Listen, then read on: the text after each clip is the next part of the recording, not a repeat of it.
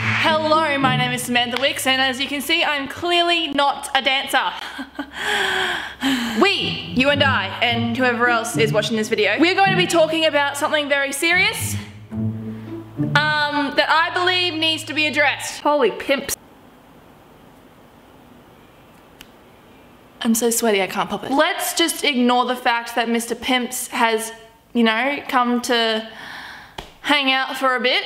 Um, I bet you're all looking at it right now, aren't you? Believe it or not, this issue never came across to me as an issue until all these people started pointing it out and even poking it and squeezing it. Insecurity levels are kind of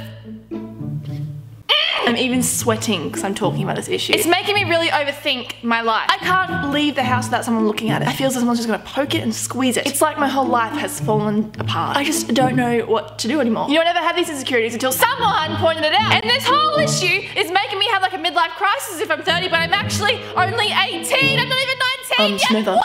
Um, let's just move the video along, please. I believe your viewers want to know um what the issue is before you have a mental breakdown.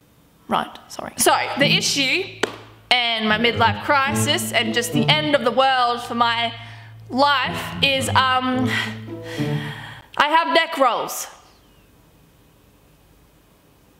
Neck rolls! my neck rolls are bigger than a bread roll itself. No one in society wants to look like a bread roll. And I'm not talking about you know little small square looking ones. I'm talking about the big fat ones that have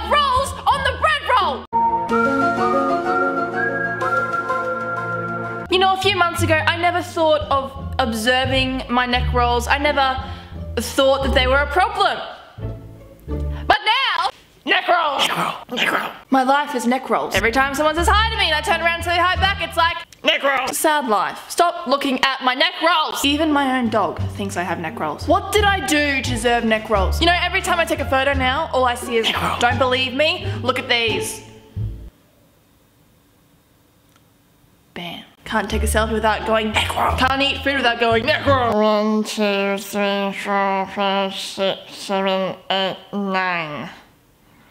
Possibly ten, can't really see it. What can I say? I have a fat neck alongside of a fat pair of cheeks. And if you don't believe I have a fat neck, look at this.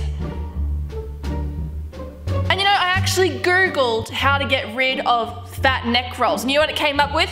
Move your neck every day. I already move it every day and I have a fat neck! I go to my friends and my boyfriend's house and you know what they do? They play with my neck rolls. I lay there and they literally play with my neck rolls. It's been stressing me out so much that I have to like go outside like this.